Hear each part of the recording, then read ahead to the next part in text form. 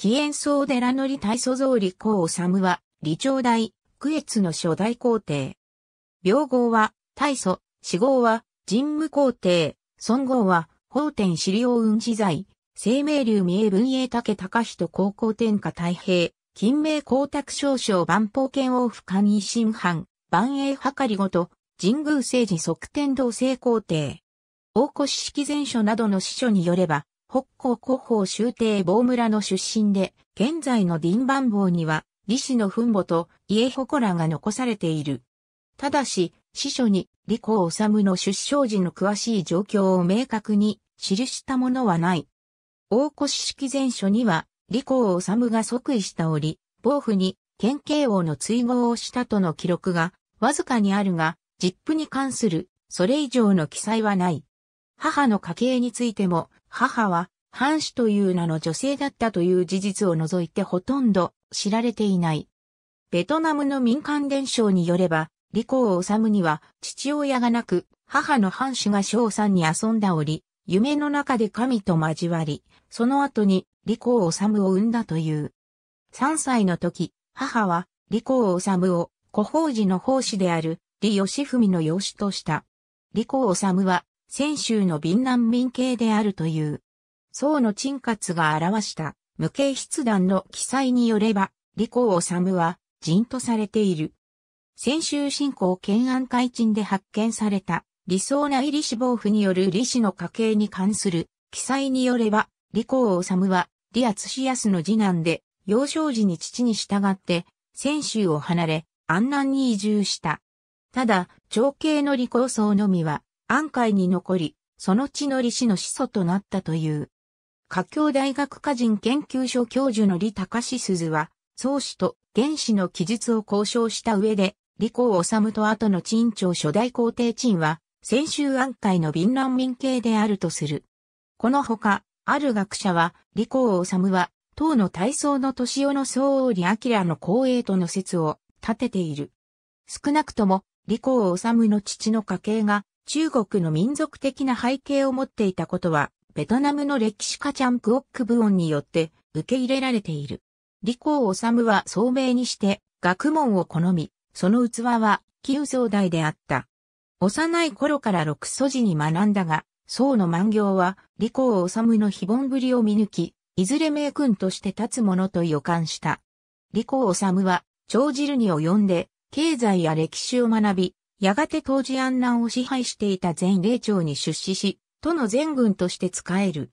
李光治は、太閤皇帝、はじむ官の娘、はじむ氏仏銀をめとり、はじむ姓を賜った。太閤皇帝の没後、中宗が即位するものの、ほどなくして、弟のはじむ流に殺害され、皇位は散奪された。軍神が皆恐れて、資産逃亡する中、ただ李光治のみは、中層の遺体を抱いて同国していた。その中義ぶりに感心したはじむ流によって四久し軍副指揮士、さらに左新栄伝前指揮士に任じられた。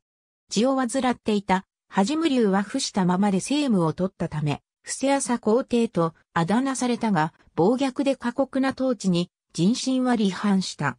そんな折、古宝終焉を治号にある木綿の木が裂け、その中から一行の死が現れた。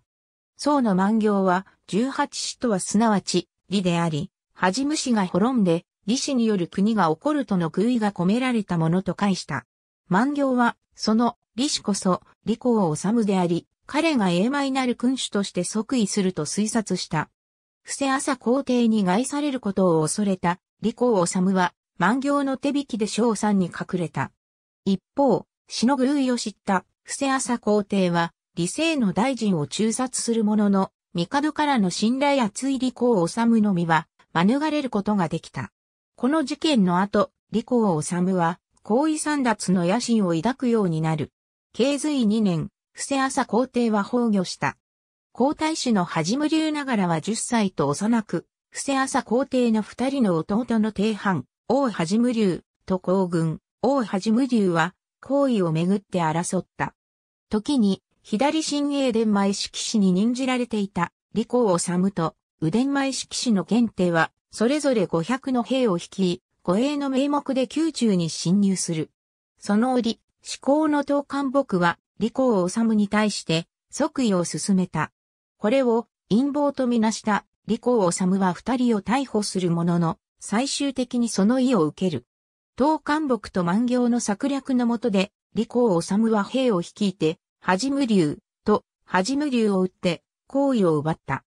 そしてはじむ星から李政に服し、新たに李朝を起こした。翌年には元号を順天とし、父に県警王と追号し、聖母を明徳大号とした。昇竜への戦闘大祖は即位後間もなく、東山幹部の花領から甲がデルタの大羅城に移した。大越式前書によれば、大祖が船で大羅城に至った折、忽然として船の傍らに王領が現れた。軍神はこれを大いなる吉兆とみなし、大祖は大羅城を昇竜と改名した。この昇竜こそ、現在に続くベトナムの首都ハノイである。大祖は大規模な宮殿を築き、故郷の古宝州を天徳府、北港を天徳港、ことか領、長安府と改名した。また、天徳府に創病を築いた。これが、李八帝病である。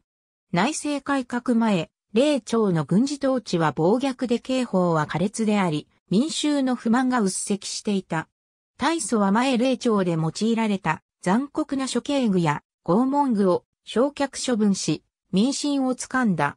順天4年には、伝寺、山野、塩田、造下、香料など、各産物に関する税制を定めた。対外政策大祖は即位後に前、霊長の侵略的な対外政策を改め、外交には和平をもって当たった。布施朝皇帝によって不慮にされた、暴族を解放して故郷に返した。順天元年、大祖は宋に作法を求める使者を送った。時の新州は大祖を高鎮軍王領政海軍節度市に封じた。この後、大祖は幾度も宋に使者を送った。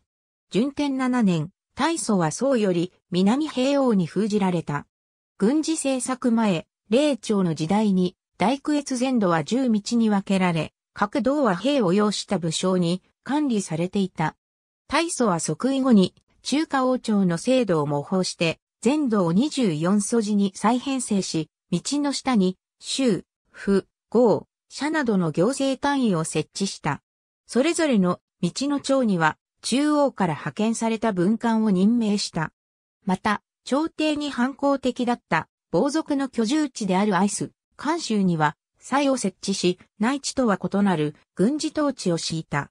順天2年、大祖は兵を率いて、巨高市における暴族の乱を平定し、狩猟の支給を上げ、村を焼き払うなどして、容赦のない姿勢で臨んだ。この時、大祖は各地に封じた巫女たちに長期間従軍させた。仏教政策大祖は仏僧に教育を受けた関係で、仏教を厚く信仰していた。その知性に仏教を奨励したことで、僧侶の社会的地位は高まった。大祖の即位に、功のあった万行は、国主として国政を掌握した。しかし仏教奨励の影響で、国政に参与しない層までもが広大な放置を手にするようになった。大祖が築いた、と、昇竜の場外には多くの寺院が立ち並んだ。官人は寺院に多額の布施を行い、大金を鋳造させた。仏教の流星に伴い、自ら啓発する者が増えたため、順天10年に、大祖は全土の民衆に御事乗りして、正式な特度を定めた。宋に使わされた施設は、その都度大量の三蔵経を持って帰国した。順天19年、大祖は昇竜の両安殿で崩御した。軍神はこぞって皇太子であった回転能力二つ目の元を訪れて、即位への準備を進めた。この時、李仏目の三人の弟、東西王、翼西王、武徳王はそれぞれ兵を率いて、吉富門に潜み、李仏目を視察するべく、機会を狙っていた。しかし、小府門から宮中に向かった李仏目は幸運にも逃れることができた。後に企みを知った李仏目は、はじむささぐ暁に命じて、武徳王を討ち、東西王と翼西王を捕らえさせた。こうして、李仏目は、即位を果たした。死後、大祖は、寿領に葬られた。李八帝病の李体創造と、李太子宗方六人六男十三、女海天皇李仏目開国王李悟り統制王李、力抑制王武徳、大竹島王里明暗黒公主。ありがとうございます。